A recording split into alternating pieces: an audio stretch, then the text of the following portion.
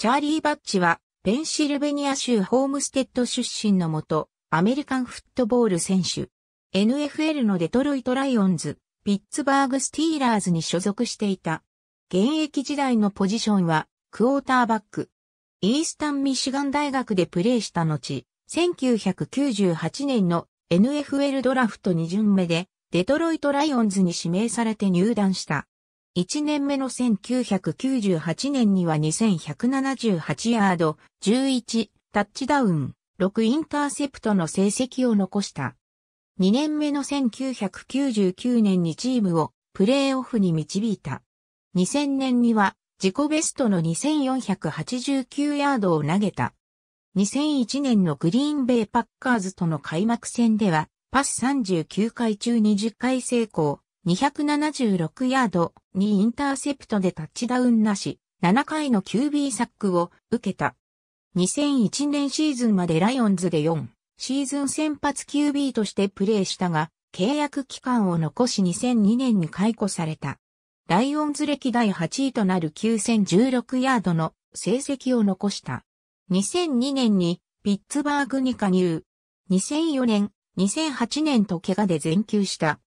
この年チームにはバイロン・レフトウィッチが加入していたが、レフトウィッチは先発 QB の座を求めて2009年4月にタンパベイバッカニャーズと契約、バッチはスティーラーズと1年契約を結んだ。同年も左手首を骨折して1試合にしか出場しなかったが2010年3月28日、スティーラーズと2年契約を結んだ。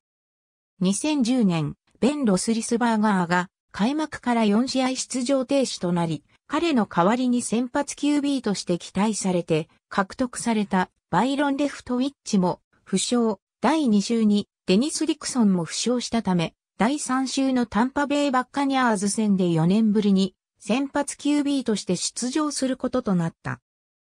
2011年第16週のセントルイスラムズ戦で負傷しているロスリスバーガーに代わり先発出場。パス22本中15本成功、208ヤードを獲得、タッチダウンなし、1インターセプトを喫したがチームは勝利した。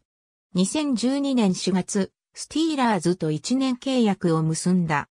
第10週にロスリスバーガー、第11週にレフトウィッチが負傷すると、第12週のクリーブランドブラウンズ戦で先発出場したが、この試合でスティーラーズはバッチの3インターセプトなど8回のターンオーバーを喫し、14から20で敗れた。